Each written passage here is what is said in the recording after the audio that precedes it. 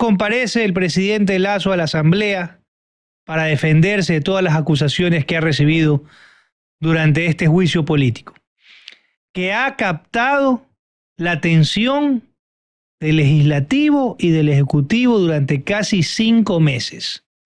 Cinco meses en, en los cuales la situación del país se ha complicado, se ha deteriorado, incluso podríamos decir que en ciertos aspectos se ha destruido. El juicio político llega a su clímax durante esta semana y sabremos si realmente el presidente logra sortear esta dura prueba o si recurre a alguna alternativa como la muerte cruzada. Lo más grave es qué pasa después en el Ecuador.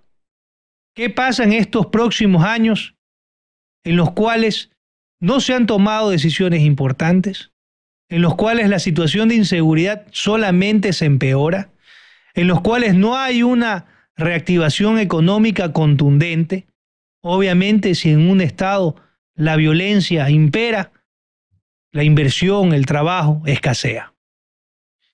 Tenemos que demandar de nuestras autoridades que esto se supere lo más pronto posible. Y de cualquiera que sea el resultado y una posible prolongación o continuación del gobierno del presidente Lazo y que este juicio no llegue a buen puerto para los opositores, haya la suficiente madurez para sentarse a discutir una agenda legislativa mínima que le proporcione al país algo de tranquilidad. Mañana el presidente, o esperamos del presidente, una presentación contundente, una presentación a la altura de las circunstancias, en donde si hay acusaciones, se hagan con toda la objetividad y precisión posible. En si donde haya cuestionamientos al proceder de ciertos actores políticos, se lo haga con la precisión absoluta para no volver a caer en estos rumores y en estas ambigüedades que a veces lo caracterizan al presidente Lazo.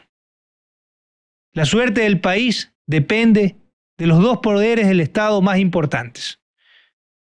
Y la suerte de todos los ecuatorianos depende de que se tomen decisiones con madurez, con respeto a la democracia y que no sea simplemente la antipatía o el odio el que lleve a una destitución que sentará un precedente para la posterioridad que podría ser nefasto para la gobernabilidad del país en el futuro.